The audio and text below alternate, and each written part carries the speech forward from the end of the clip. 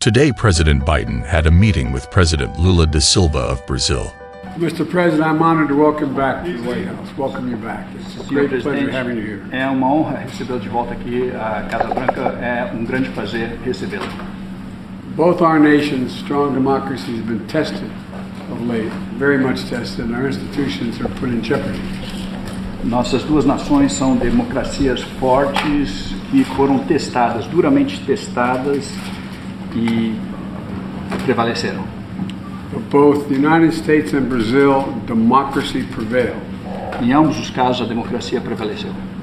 When we spoke in January, I affirmed my commitment to our relationship, and uh, when we spoke about our mutual agendas, they sound very similar. Ah, Quando conversamos, eu afirmei o nosso apoio imbalável à democracia brasileira e quando falamos sobre as nossas agendas, pareciam muito semelhantes. I affirmed the United States' unwavering support for Brazil's democracy. Eu afirmei o apoio incondicional dos Estados Unidos pela democracia dos Estados do, do, do Brasil and respect for the free will of the Brazilian people. e o respeito pela livre vontade do povo brasileiro. For the two largest democracies in the hemisphere, Brazil, the United States, stand together. We reject political violence and we put great value in our democratic institutions. Somos as duas maiores democracias do hemisfério, o Brasil e os Estados Unidos ah, se unem em rejeitar a violência política e os ataques às nossas instituições. And I believe, as we said at the time, together, that we have to continue to stand up for democracy, for democratic values that are form the core of our strengths.